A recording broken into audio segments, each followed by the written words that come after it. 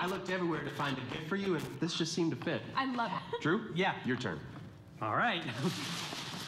no way, Jesus. Seriously? Oh, yeah. 20 ounces of Coke? Yeah, baby. This is awesome. Oh, Jesus, thank you so much. You're welcome. Laura, we gotta go show Richard our gifts. Come on. Okay. Hey, Laura. Is there a problem? No. I mean, well, yeah, kind of, you know. It's just that every time you give people gifts, you always give everyone else more than you give me. What do you mean? I mean, like, I open my gift and, oh, cute, eight ounces. And then Drew opens his gift and, hello, 20 ounces. Oh, I know what you mean. Well, that gift is for Drew. Well, that's what I want. Uh, go get it for me. Okay, if that's what you want. Yeah. I got a liter. I know it's one liter of God's sweet goodness. Jesus gave it to me. He did? Yes. Okay, you know what? You're gonna meet somebody with a bigger bottle, and you are gonna be so mad. Laura, check it out. I got an upgrade. Coke oh. 3.0. That is awesome. I know. Well, isn't that just great? Yeah. Hey, Jesus, you rock. Yeah. Thanks, What is Drew. wrong with you? Why are you holding back your best from me? I gave you my best. Don't you see what's happening here? You're letting everyone else's gifts steal your joy. No, Jesus, you are stealing my joy by giving everyone else more than you give me. Laura, I picked this gift out for you. That's what I wanted you to see. I don't care. Until you can look past this, all you're going to see is a can of Coke.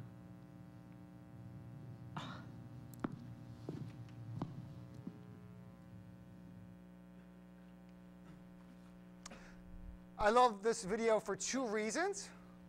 Um, reason one, number one, even Jesus knows that Coke is better than Pepsi. I mean, Coke is evidence that there is a God and that He loves us very much. Amen? Um, second reason, especially this time of year, it's easy to look at what God has given other people and not realizing the gifts that God has given us. Um, right? And this is what coveting does. Coveting cha- changes the heart. That instead of chasing after the things of God, we go and chase after the things of the world. Right? And we want, we want, we want instead of chasing after what God has for us. So we are going through um, the Ten Commandments. Um, question we have for us is do, how do we look to God to meet our every need? Um, I'm going to ask you to open up your Bibles to Exodus chapter 20. We're going to read through the Ten Commands. Um, as we said last week, and you might have noticed this on our last song, we're still going through our technology upgrade. Um, so you have the screen behind me. I'm still flying blind, but we're gonna we're in this together. It's gonna be a lot of fun. So we are on page 43. So if you can open it up, we'll stand in a moment and we'll read that together. I'm going to ask you to stand up. In the Old Testament, when they read the law, the people stood for that. So as we've been reading through the Ten Commandments, we've been standing um, as we read. So verse 1 says, And God spoke all these words, saying, I am the Lord your God who brought you out of the land of Egypt, out of the house of bondage. You shall have no other gods before me. You shall not make yourself a carved image of any likeness of anything that is in heaven above, or that is in the earth beneath, or that is in the water under the earth. You shall not bow down to them, nor serve them. For I, the Lord your God, am a jealous God, visiting the iniquities of the fathers upon the children to the third and fourth generations of those who hate me, but showing mercy to thousands to those who love me and keep my commands. You should not take the name of the Lord your God in vain, for the Lord will not hold him guiltless who takes his name in vain. Remember the Sabbath day to keep it holy. Six days you shall labor and do all your work, but the seventh is the Sabbath of the Lord your God. In it you should do no work you, nor your sons, nor your daughter, nor your male servant, nor your female servant, nor your cattle, nor the stranger that, who is within your gates. For in six days the Lord made the heavens and the earth, the sea and all that is in them, and he rested the seventh day. Therefore the Lord blessed the Sabbath day and hallowed it. Honor your father and your mother, that your days may be long upon the land which the Lord your God is giving you. You shall not murder. You shall not commit adultery. You shall not steal. You shall not bear false witness against your neighbor. You shall not covet your neighbor's house. You shall not covet your neighbor's wife, nor his male servant, nor his female servant, nor his ox, nor his donkey, nor anything that is your neighbor's. You can have a seat. Follow along. We have two points as we go through, as we have been for a while now. We begin with the final 10th commandment. Key word in this verse 17 here is the word covet. Now, if you're going to look in a Bible dictionary, it might say something like a strong, uncontrolled desire. Probably a simpler way to define covet is I want what I want, and I want it right now. It is the me, me, me, me, me, me, me, or mine, mine, mine that your grandkids might yell back at you. It is your grandchild when they go and get the pretzels, and you could say you have a handful. They're not taking three or four, but they're putting three or four on each of the five fingers and getting 20 or 30 and taking it back with them. Nod your head if you've ever seen this level of creativity in your kids or your grandkids. And it's kind of what the video says. God has given you his blessing. God supplies your every need. And yet, when you see how God supplies the needs of others, you want that for yourself. And what coveting does, it changes the heart.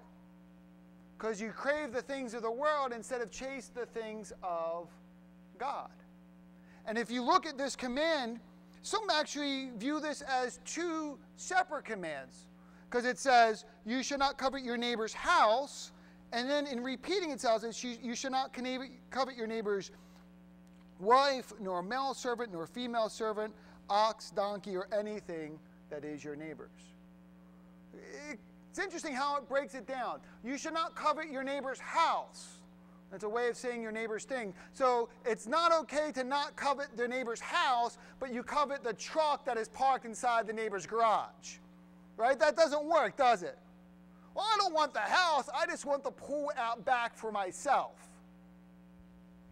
And then the other part of it, if the neighbor's house is the um, non living, the second part is the living. You know, you want your, your neighbor's wife or your her male servant, or who would not like a butler cleaning up after those grandkids when they come through? I mean, some of those kids are like a little hurricane of destruction, are they not? His ox, his donkey, maybe today um, we would say his farming equipment, his man cave, his tool shed out back. And if those things are not as clear, we have this last clause that kind of covers a little bit of everything. Nor anything that is thy neighbor's. Right? That we want what we want we see and we think we deserve it more than they do. So, what does it say? What does this verse say about the character of God? This is uh, our last command, and it's interesting how the 10th kind of bookends with the first. If you're still there, verse 1 and 2 says, The Lord God spoke all these words, saying, I am the Lord your God, who brought you up out of the land of Egypt, out of the house of bondage. I am the God who knows everything. I am the God who supplies every need.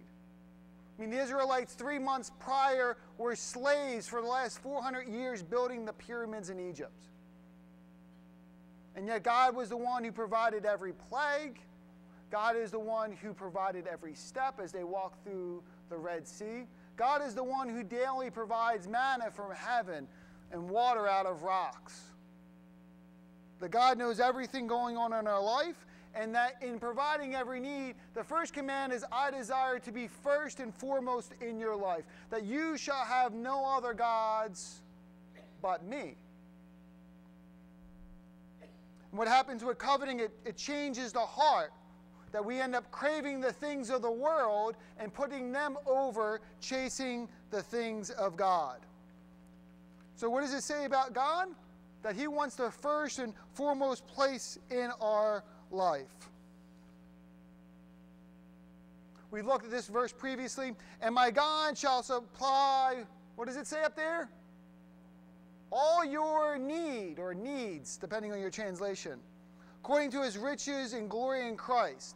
Now to be God be the glory, that to God our Father be glory forever and ever. Amen. That God shall supply all of your needs, right?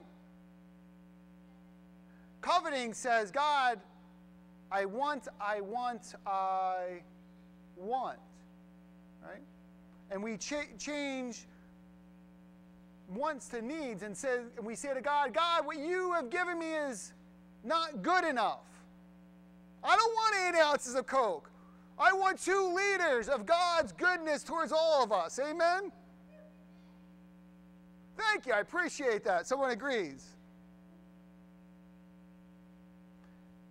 What this verse says about God is God, who is all knowing and all powerful, who is a good God and has blessed us in the past, wants to be first in our life. And in being first, God gives us what He thinks is best for us in the given situation. So, what does this say about us? I mean, think about this, right? Three months ago, the Israelites were slaves. They were building the pyramids. God had provided for them every step of the way, and now God here says, Do not covet your neighbor's house. Do any of them have houses at this point? No, they're sleeping out in the wilderness. In fact, the only thing they have is what they asked the Egyptians for before the final plague. Before the Passover, it says here, you can look above me. Now the children of Israel had done according to the word of Moses. And they asked the Egyptians uh, articles of silver, articles of gold, and clothing. And the Lord had given the people favor in the sight of the Egyptians, so that they granted them what they requested. Thus, they plundered the Egyptians. Don't covet your neighbor's house. You mean their tent, which is right next to my tent? Don't covet your neighbor's male servant. Three months ago, they were the servants and the slaves, and the ones building the pyramids. So, what does this commandment say about them? It says about them about the same thing it says about us that we have wandering eyes. In a way, this commandment is like the commandment do not steal, where it's easy to look at what other people have and covet that than it is to look after the things of God. I love how this is phrased that the grass looks greener on the other side. It's because you can't see the poop from here. I mean, think about it. Your neighbor comes home with a brand new truck, extended cab, has all the bells and whistles. And what does your eye say? You know what I deserve? That I want that truck for Christmas. Honey, instead of getting the other presents, I want to come home with the big bow and just, you know, hit the beeper and boom, that's Christmas. What the flesh doesn't tell you is that with the new truck comes a new payment. Right? The flesh doesn't tell you about the higher insurance rates. The flesh doesn't tell you about the premium gas. Right? Don't covet your neighbor's wife. The, the flesh doesn't tell you how it's going to destroy your marriage and fragment your family. And you're going to take one paycheck and divide it among two households. Coveting changes the heart. And it, what happens is we chase the things of the world instead of chasing the things of God. So the grass looks green on the other side. It's because you can't see the poop from here. What does Jesus say? That you should love the Lord your God with all of your heart, with all your soul, and with all of your mind. The second commandment is like it you should love your neighbor as yourself. Right? So God says, well, how should you look at other people? You should love them as God has loved you. But coveting changes the heart. And instead of loving other people, you crave the things that God has given to them. And you say, you know what, I deserve that. I should have that more than they. But sometimes you realize, you know what, I can't get it, but it changes the relationships, right? Because what we do is like, well, you know what, Bob's got that new snowblower. I bet if I'm nice to him, maybe he'll come and let me use that snowblower come winter guy down the street, he's got a new hunting cabin. You know what? I'm going to go and, and be nice to him. Maybe he'll take me up to his hunting cabin this season. Coveting changes the heart. That instead of loving people as God has loved us, we look at people for what they can now do for us. Oh, I want to be nice to this coworker because when they get promoted, maybe that will help my, advance my career. And we crave the things God has given to other people instead of chase the things that God has for us. So when God says, do not covet, do not look at people for what they can do for you, do look at people what God has done for them, that He has loved them, that Christ has come to forgive them, and the most important need in their life is to hear the story of God's good news for them. That God so loved us that he gave us his one and only Son, that whoever believe in him shall not perish but shall have everlasting life. What are sometimes if the reason we're not more outgoing in our faith is because we're not genuine in our relationships. Instead of loving people as God loved them, we are nice to people for what they may be able to do for us. And as a result, coveting changes the heart.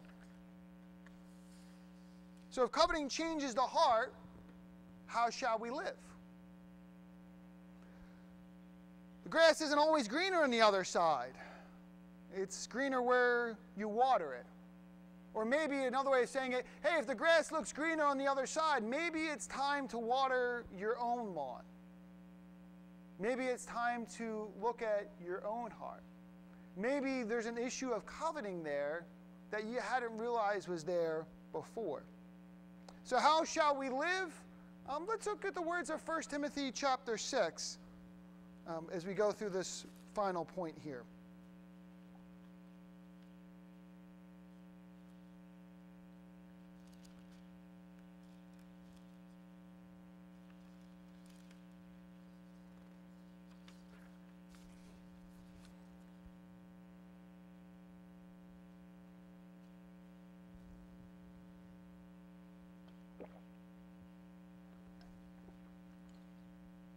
First Timothy 6, 6 through 10 reads as such.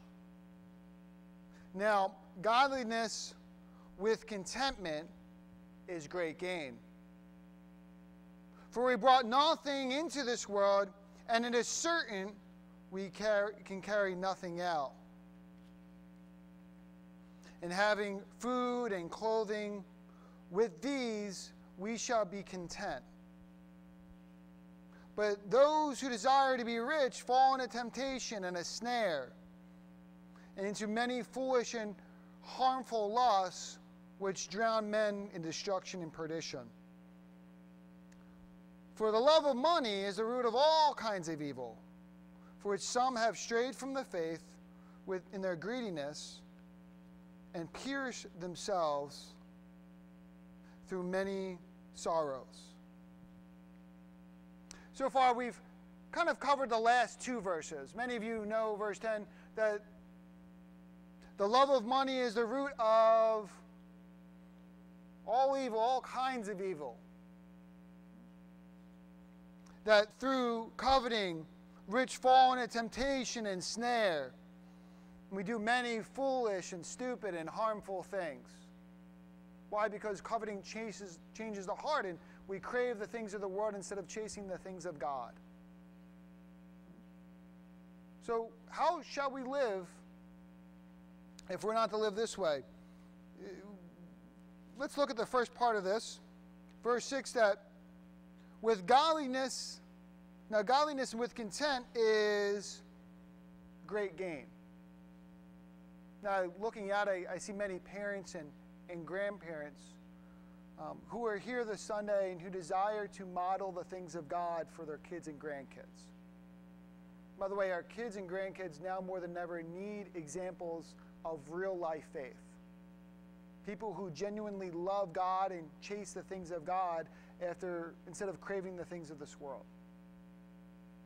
And I wonder if your grandkid or your child were given obituary were to reflect on your life, what are some of the characteristics that they would come up with? How would they describe your walk with God? Would they call you a, a man of great faith? Would they say that you're a woman of great prayer? And I imagine for many of you, um, they would reflect on certain characteristics in your life. I wonder how many of them would say, when I look at grandpa, when I look at my Aunt May, when I look at this person, I see someone who is content and thankful for the things God has given them. Right? I mean, how do you reflect contentment in your life? I think the way you reflect contentment in your life isn't chasing after all the gadgets, isn't chasing after all the lusts of the things of this world, but it's really saying, you know what, I'm thankful for the things God has given me. Would I love a Ferrari? Yes, I would. Would I love the payments of a Ferrari? No, I would not. You know what? So instead of having a 2020 whatever, I have a 2005 minivan. You know what? It gets me to A and B just fine. And by the way, it's better than a Ferrari. I could actually fit all my kids inside of it. Though I bet one of them would love to ride on the roof. I bet they wouldn't mind that at all.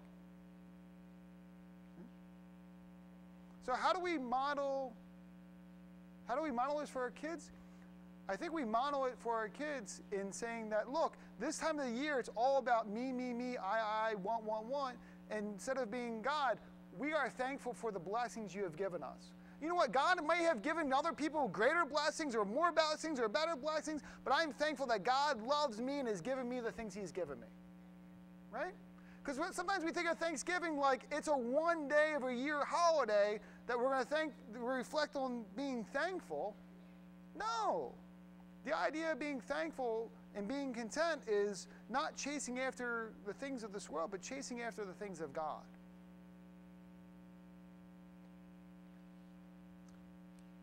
So, one of the ways we combat covetousness in our own life is that we model contentment for our kids and our grandkids.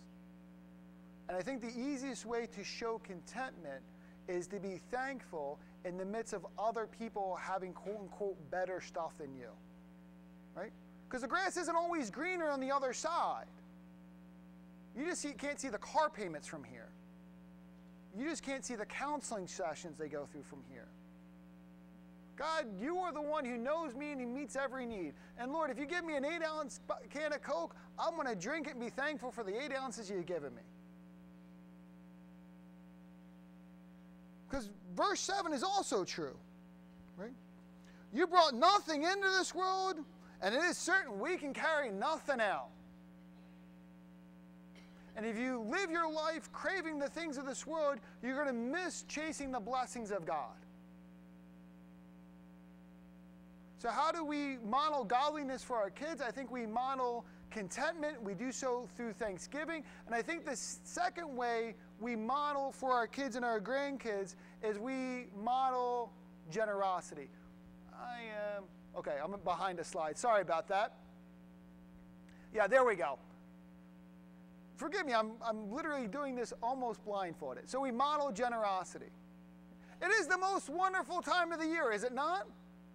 And this is a time of the year where it, we say it is better to give than to receive.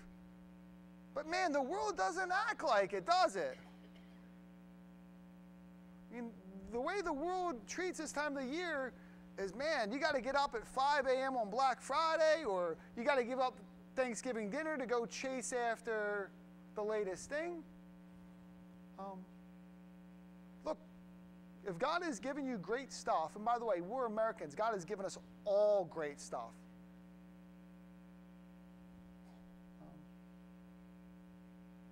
You know, I had a friend who once says, You're born an American, you've already won the lottery of life.